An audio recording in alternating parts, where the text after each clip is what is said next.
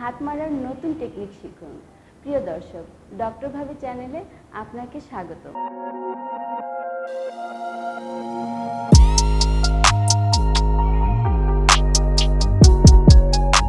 প্রিয় দর্শক, আপনারা আমাদের ডক্টর ভাবি চ্যানেলে স্বাস্থ্য বিষয়ক নানা প্রশ্ন করে থাকেন। আজ সেখান থেকে একটি প্রশ্নের উত্তর দেব। আপনাদের মধ্যে থেকে এক ভাই আমাকে প্রশ্ন করেছেন যে, ভাবি আমি সপ্তাহে অনেকবার হাত মারি। আর এই জন্য আমার গার্লফ্রেন্ড আমাকে বকা দেয়।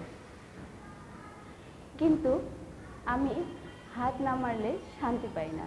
তবে আমার প্রশ্ন হলো, সপ্তাহে কতবার হাত মারলে সমস্যা হবে না? তাছাড়া হস্তমৈথুন ছাড়ার কি কোনো উপায় আছে? প্রিয় দর্শক, চলুন এই প্রশ্নের উত্তর জেনে নেওয়া যাক।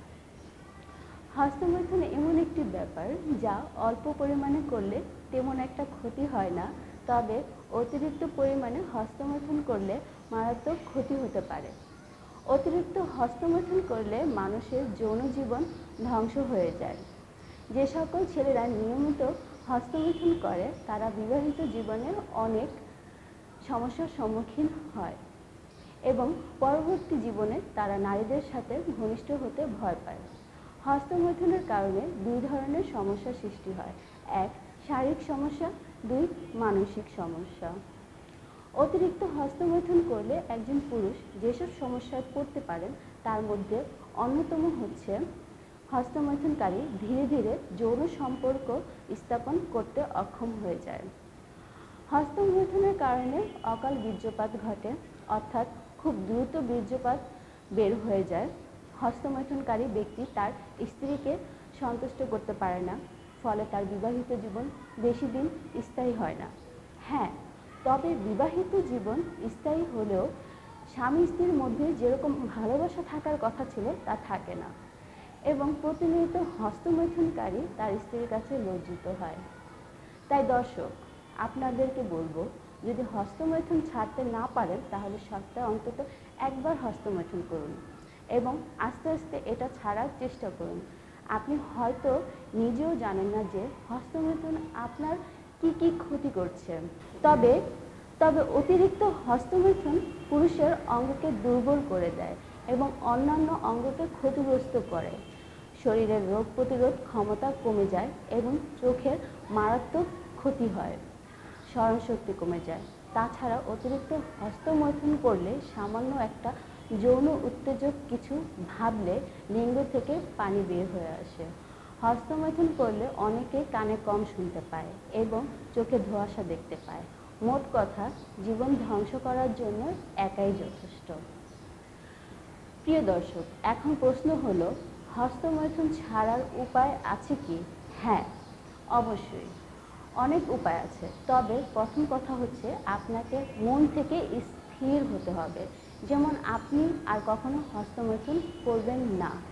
এখন আমি কিছু নিয়ম বলে দেব আর এই নিয়মগুলো ফলো করলে আপনি অবশ্যই হস্তমৈথুন ছাড়তে পারবেন।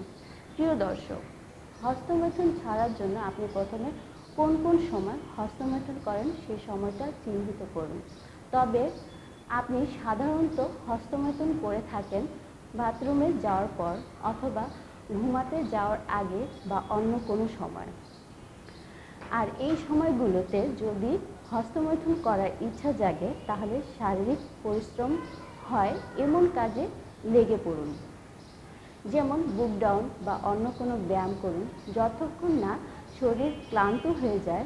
আর গোসল করার সময় হস্তমৈথুনের ইচ্ছা হলে আপনার পুরুষ অঙ্গ ঠান্ডা পানি ঢেলে দিন। এবং দ্রুত গোসলখানা থেকে বেরিয়ে পড়ুন।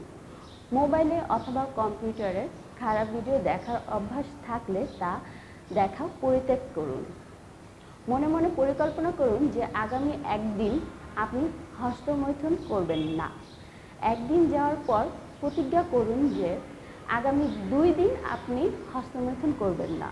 এরকম পরিকল্পনা করুন। আবার দুই দিন যাওয়ার পর আপনি প্রতিজ্ঞা করুন যে আগামী এক সপ্তাহ কোনো হস্তমৈথুন করবেন না। আর এইভাবে আপনি প্ল্যান করুন, তাহলে ধীরে ধীরে আপনি এই বাজে অভ্যাস থেকে বেরিয়ে আসতে পারবেন। প্রিয় দর্শক, আপনার যদি আমাদের এই ভিডিওটি ভালো লাগে, তাহলে প্লিজ আমাদের ডক্টর ভাবি চ্যানেলটি সাবস্ক্রাইব করুন এবং পাশে থাকা বেল আইকনটি ক্লিক করুন এবং পরবর্তী ভিডিও দেখার জন্য অপেক্ষা করুন। ধন্যবাদ, টাটা বাই বাই Bye.